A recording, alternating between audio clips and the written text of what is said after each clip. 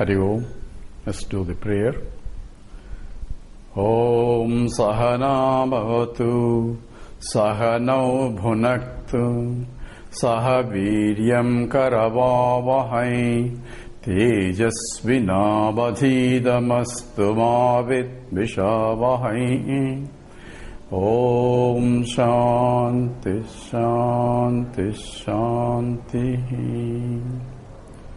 सुगुरुस्तोत्रम् चिन्मयम् व्यापि यत् सर्वम् त्रैलोक्यम् सचराचरम् तत्पथम् दर्शितम् येन तस्मै श्रीगुरवे नमः। Om Hari Om. Last class we talked about two important things number one that I am looking for infinite happiness even though I am already that. Because we gave an example the one who has no more vasanas, he is happy by himself. So the self that he is happy with has to be infinite because we said everyone is looking for unlimited, inexhaustible happiness. And if he's contented with by himself, so the self that he's contented with has to be infinite. That means that self that he is already a Brahman. So Ayam Atma Brahma, says Vedanta. Says this Atma, this self that I am is indeed Brahman, means indeed infinite. Now the question is, why I am looking for happiness if I am already infinite? Then we said, I did not know. I do not know that I am infinite. Therefore, I am looking for happiness because I am not recognizing that I am already happy. So, where is the problem? The ignorance of my true nature is the problem. That's what we said. Now, the question is if ignorance is the root cause for all my pursuits because ignorance of myself is same as ignorance that I am already infinitely happy therefore I am since I, I have ignorance of myself I feel myself I am limited I am not infinite therefore I am finite. And problem is since I am infinite and taking myself finite I don't like it. Therefore I want to become infinite so the pursuit for happiness becomes a struggle for life.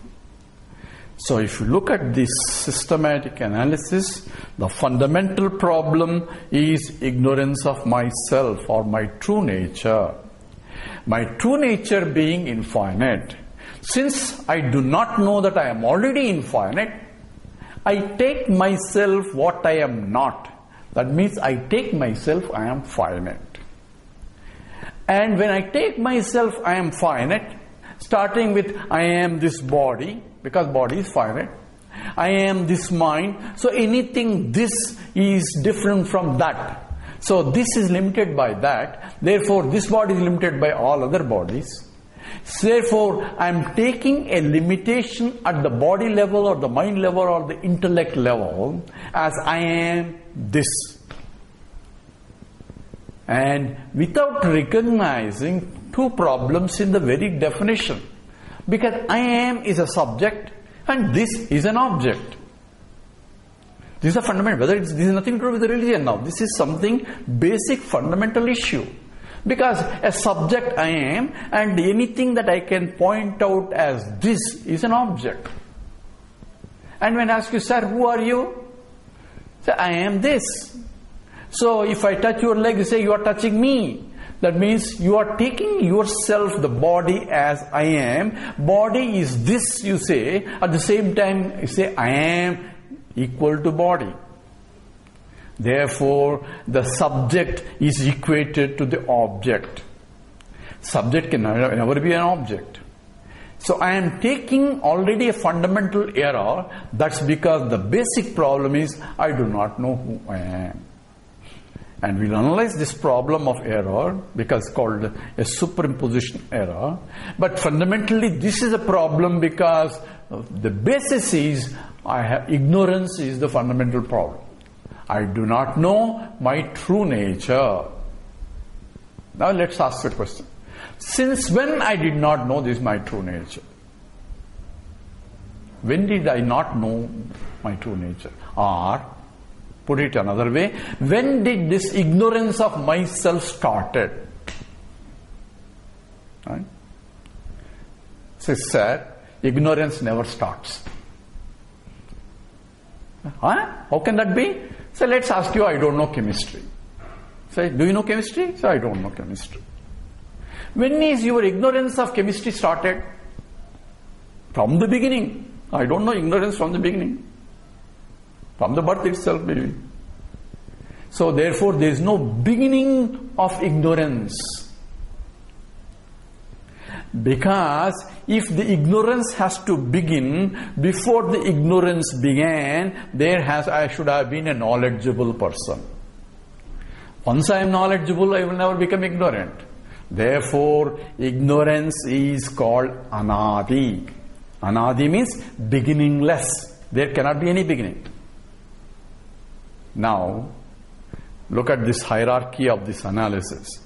Ignorance is the problem because of which I do not know myself who I am and therefore I am taking not myself as myself and I am trying to solve the problem by trying to become infinite when I cannot make finite into infinite and I cannot but try to make it infinite and the struggle is going on without realizing I am already infinite. So what I need is a knowledge not any pursuits. I need a knowledge that I am already infinite. End of the story. Oh no, if I am infinite, why am I struggling? Okay, continues to struggle. Because if I don't understand the basic problem, I'm trying to solve the problem where there is no problem, and we said that became a problem of life after life. So if you look at the hierarchy, ignorance is a problem, and ignorance is anadi, beginningless. And because of the ignorance, I take myself as a limited being. I, I, am this body, this mind, and this intellect, and therefore I perform an action. Oh, this body needs certain things. Oh, I like this one, I like that one. So vasana starts accumulating when I use this body, mind, intellect to execute actions that I like and dislike, and I develop vasanas in the process. Vasanas will propel desires, desires will propel into agitations, agitations into actions, actions again will leave vasanas. Now I said we get into this whirlpool of Uh, eternal cycle of action and a janma to karma, janma to karma, and so on. So, if you look at the whole story, ignorance is a beginningless. Because of, the, of that, I am taking myself what I am not as I am. I am taking myself of I am a finite. And I don't like that conclusion. Therefore, I want to make it infinite by performing action, by doing, gaining this, gaining that. And this propels you into the likes and dislikes and vasanas and it becomes a continuous cycle. So this is one aspect of it. The second aspect involved along with it is this vasanas came from the actions. Now, we know that we don't we, when we ask the first first lecture we don't know what life we had before or if there's a life before or is there a life beyond how do we answer that question? Is there a means to address that question? Now let's look at individual life. Every time I perform an action, I am getting a result of that action. So if I make a good, delicious food, cook for it, then there's a result is there for me to enjoy. So whenever I perform an action, I see the result. There is a cause and there's an effect. So every action and the result follow a cause effect relationship. If I am an engineer, because there is a cause for it. Cause is I went to an engineering school, studied engineering, and became the effect that I am an engineer. If I'm a doctor, I went to a medical school and the effect is I became a doctor. So I see this cause effect relationship seems to be valid from birth to death. Everything, if I put my finger into the fire, I, finger gets burned. There is a cause and there is an effect. It is the nature of the fire to burn. It doesn't care who puts the finger there. So this cause-effect relationship is valid from birth to death. Now suddenly we ask the question, what is the cause for my birth itself? Oh, there is no cause. So how can that be? I am valid, I am a value of the law is valid from birth to death, and suddenly at these two discontinuities, where the birth and the death, suddenly the law doesn't say you say it doesn't work. Therefore, just the extension of the logic of cause effect relationship demands that there has to be a cause.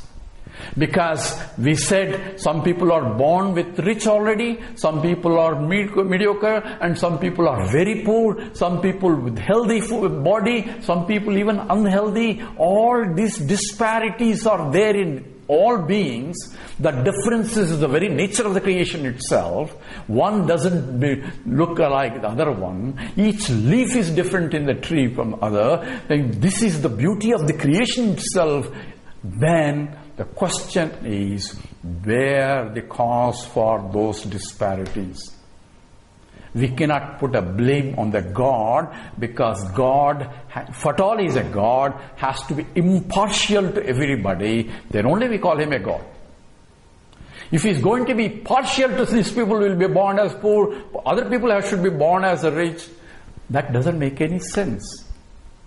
In fact, I don't know why am I born? Some religions say somebody ate apple, therefore you are born. Say, how can that be? If somebody does the action now, I had to be responsible for my action. If somebody is to, big, is to go to engineering school, I don't become an engineer. I had to go to engineering school. I had to study for me to become a. That seems to be cause-effect relationship.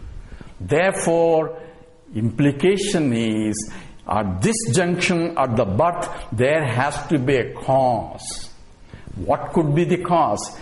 Cause is I have a previous vasanas that are propelling me to take a birth in a particular parents or particular parents in a particular environment with a particular body to exhaust those vasanas that I have.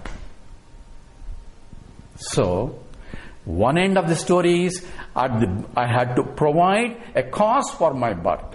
Otherwise, there is a discontinuity in the cause-effect relationship. Now look at the other end. Other end is the death. We see lot of people doing all sorts of things. People uh, milking money at the expense of everybody else and they enjoy it, they kick the bucket.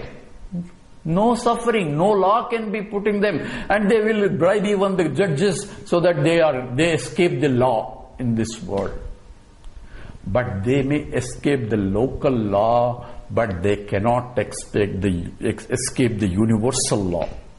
For every effect, there has to be a cause. For every cause, there has to be an effect. The implication is whatever the actions that they have done, they are accountable for their actions. Therefore, they have to be born in some environment where they have to experience the effects of these actions. There is no escape from this.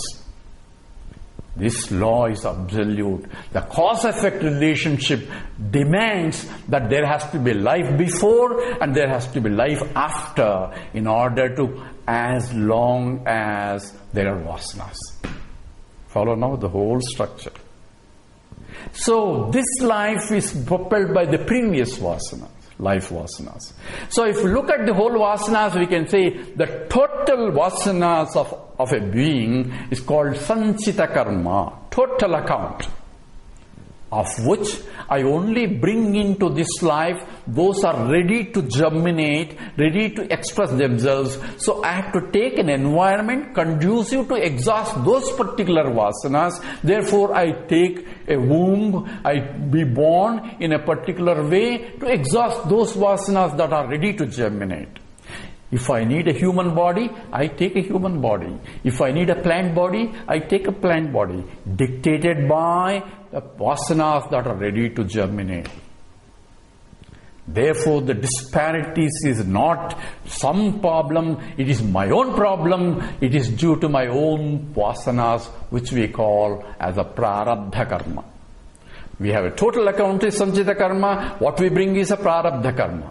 In the human form, I have a will to act, which we explain slowly, and in the process I accumulate new vasanas, and the new vasanas that I accumulate which cannot be exhausted in this life or put it back into my account again and that's called agami karma.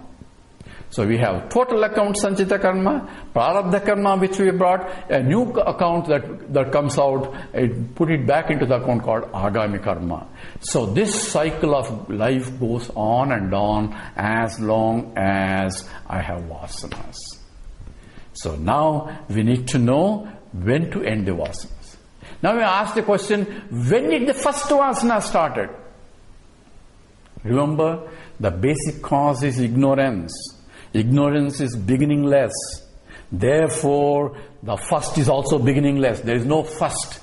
It is a continuous, eternal cycle of birth, death, birth, death cycle. And I'm already caught up in this because of this beginningless ignorance, which is anadi. But ignorance can end. Ignorance of my chemistry can end, even though ignorance is beginningless, it can end with knowledge. Similarly, the self ignorance also can end by self knowledge. Chemistry ignorance is removed by chemistry knowledge. Physics ignorance is removed by physics knowledge. Self ignorance is to be removed by self knowledge. That has to be understood. But this self knowledge is the knowledge that eliminates all other problems. And that's what Vedanta tells us, and that's what we are going to talk about. Hari said पूर्णमदः ॐ पूर्णमदः पूर्णमिदम् पूर्णात् पूर्णमुदच्यते पूर्णस्य पूर्णमादाय पूर्णमेवावशिष्यते ॐ शान्ति शान्ति शान्तिः हरिः ॐ श्रीगुरुभ्यो नमः हरिः ॐ